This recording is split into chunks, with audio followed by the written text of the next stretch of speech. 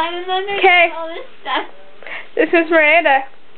And she's under a bunch of stuff. And now watch this. You're, you, if you cover my face, you can't see me at all. Watch. Hi. I'm under here.